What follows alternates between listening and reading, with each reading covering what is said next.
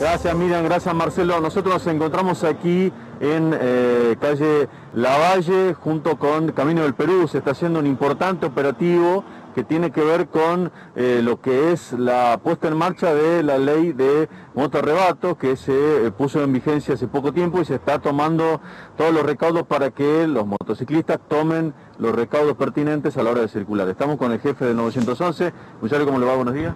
¿Qué tal? Buenas tardes, ¿cómo le va? Muy bien. Bueno, eh, ¿qué tiene que tener eh, aquella persona que vaya en moto en Tucumán?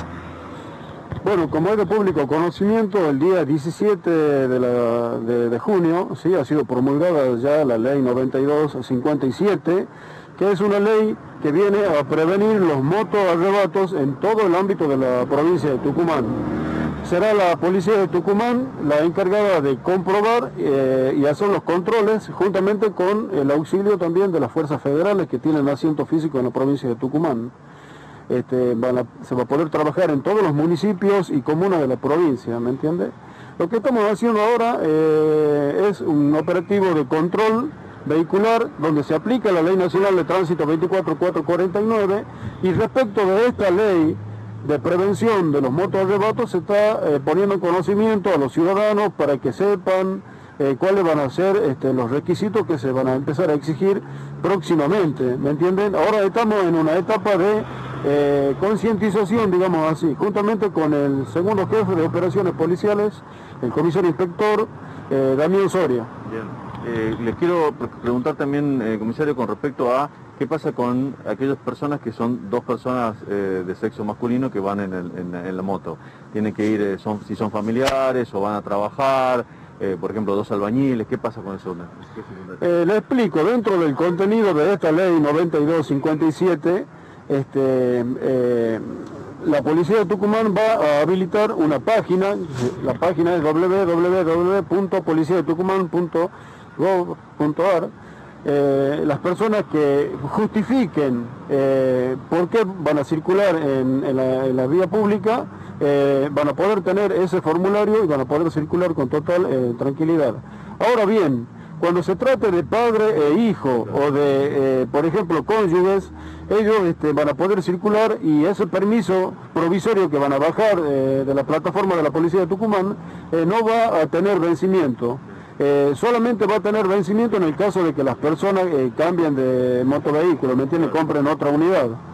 Para el resto de los casos, eh, cada seis meses se va a tener que hacer una renovación, digamos así, de ese permiso provisorio, ¿me entiende?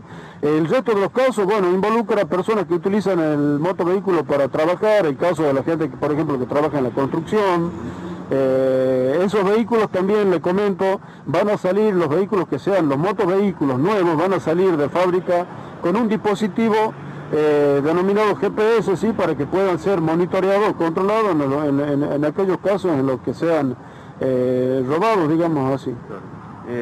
Soria, comisario, estamos aquí. Cuéntenos qué estamos viendo, qué operativo se está llevando adelante acá. Bueno, buenos días para usted y para toda su teleaudiencia. la policía de Tucumán ya de hace un tiempo atrás viene desarrollando diferentes operativos en todo el ámbito de la provincia. Especialmente en el ámbito de la capital, nosotros diariamente en diferentes turnos diarios, eh, en hora de la mañana, en hora de tarde y noche, llevamos a cabo eh, controles, 40 controles aproximadamente, en diferentes sectores, de acuerdo al lugar que nos indica el mapa de delito. muchas gracias. No, gracias a usted. Bueno, así estamos aquí en este punto, en calle, sobre eh, calle Lavalle, en el Camino del Perú, se está haciendo este operativo de temprano. Eh, agradecemos por supuesto a las autoridades policiales por darnos los datos sobre todo de eh, la ley, la denominada ley Motochorro, que en esta primera etapa, mire Marcelo, se está informando a las personas qué papeles van a tener que llevar una vez que ya quede en plena vigencia la norma.